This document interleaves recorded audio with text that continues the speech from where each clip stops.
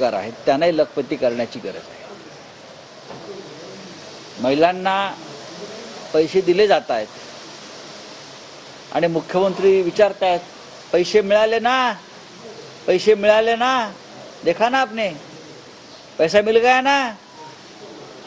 ही का पद्धत झाली मुख्यमंत्र्याची? खालून कोणीतरी आवाज दिलाय का महिलेने? सरकारच्या बापाचे पैसे आहेत का? जनतेचे पैसे आहेत. तुमच्या त्या मिंदे गटाच्या बापाचे पैसे नाही आहेत असं खालून एक महिलेने आवाज़ दिला, बघा, ऐकायला येतोय. एक महिला ने कहा नीचे से, जब पूछा, पैसा मिल गया ना? तो बोला कि, किसी के बाप का पैसा है क्या? ये जनता का पैसा है। लखपति दीदी का पैसा जनता का है। अब प्रधानमंत्री आ रहे हैं। बात ऐसी है। महाराष्ट्र में एक आंदोलन चल रहा है। महिलाओं के, महिलाओं की सुरक्षा के लिए। ये जो सब हमारी बहनें हैं, दीदी, उनकी सुरक्षा के लिए। उस बारे में तो प्रधानमंत्री ने अब तक एक लफ्ज अपने मुँह से नहीं निकाला, काटला नहीं।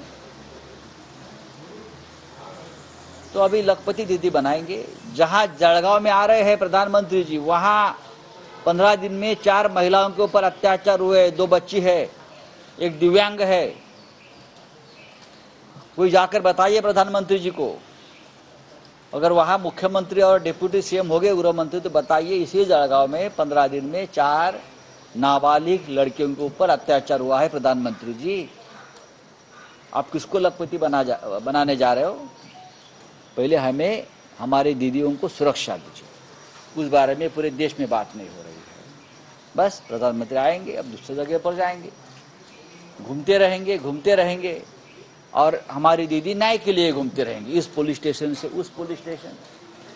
पुलिस स्टेशन वाले उनकी एफ़ नहीं लेंगे। फिर जनता आंदोलन करेंगी। फिर कोई कोर्ट में जाएगा और आंदोलन के ऊपर बंदी लगाएँगे। ये चल रहा है हमारे देश में। बोलिए।